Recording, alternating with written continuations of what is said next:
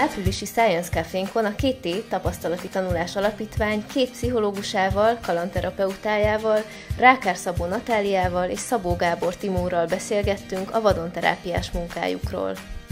2004-ben született meg az alapítványunk, rögtön az elején elkezdtünk erőfeszítéseket tenni azért, hogy legyen valami fajta közössége ennek a munkának Magyarországon. Kalandterápia egy olyan terápiás megközelítés, ami a természetben zajlik, és a természetben végezhető aktivitásoknak, kalandaktivitásoknak az előnyeit, lehetőségeit kihasználva végez terápiás tevékenységet, hagyományos terápiás eszközökkel. Jellemzően állami gondozott fiatalokkal foglalkozunk, de volt már programunk, ami önismereti célú, foglalkoztunk iskolás célcsoportokkal is. Nagyon jellemző kép, amikor egy figyelemzavaros 13 éves állami gondozott srácról azt gondoljuk, hogy biztos valami baja van, vagy lehet, hogy elájult, mert már egy órája ül az erdő mellett, az erdő felé fordulva a székében, és nem mozdul. De kiderült, hogy az állatokat figyelte, amik nem voltak persze, tehát csak ilyen kis madarak, még minden, de ő várta és figyelte. Tehát hogy ez egy nagyon érdekes jelenség, hogy nyugtatólag hat ránk az erdő. Pontosan lehet már mérni, készültek kutatások, hogy milyen típusú tevékenységekkel agyunknak mely részeit fejlesztjük konkrétan, és hogy ez mire jó. A fiatalok ezeket megcsinálják, megélik és valamilyen szinten földolgozzák, akkor anélkül gyógyulnak, hogy ezt igazából tudnák. Tizenéves korosztálynak hogy tudjátok eladni azt, hogy kimentek akár két hétre az erdőbe egy minimális infrastruktúrával, telefon nélkül, internet nélkül. Hogy tudtuk eladni neked szerinted 14 éves korodban azt, hogy vagy 15, hogy kigyere. Számomra ez nem az jelentette, hogy, hogy el kell adni valamit, hanem én amikor ezt meghallottam, akkor nekem ez pont egy lehetőség volt.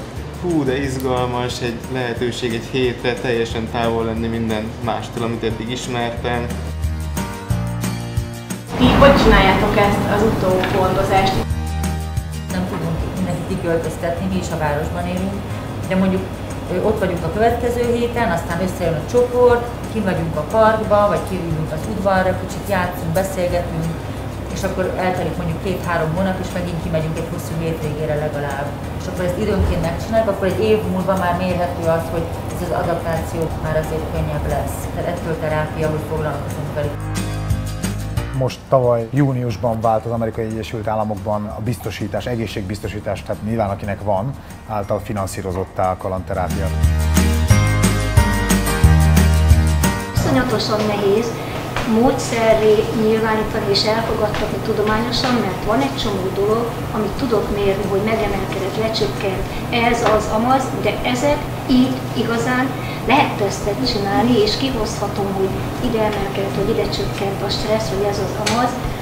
Hol tart ennek az elfogadása, és ti például eh, amikor megkaptuk így egy csoportot, csináltok-e ilyet, amikor megérkezik, meg elmegy? Az, hogy ezt hogyan tudjuk eh, tudományos eszközökkel megragadni, ez egy másik kérdés, ez módszertani kérdés már, mert egy nagyon bonyolult a változóknak olyan tömege áll rendelkezésre, mit, mit mérek pontosan. Van ezzel küzdelem, én nem gondolom, hogy a, a hagyományos terápiás eljárások jobban bizonyítottak hatékonyságúban, mint, mint, mint ez mondjuk. Annyiban más, hogy régebb óta próbálják bizonyítani, és ezért sokkal több szöveg van.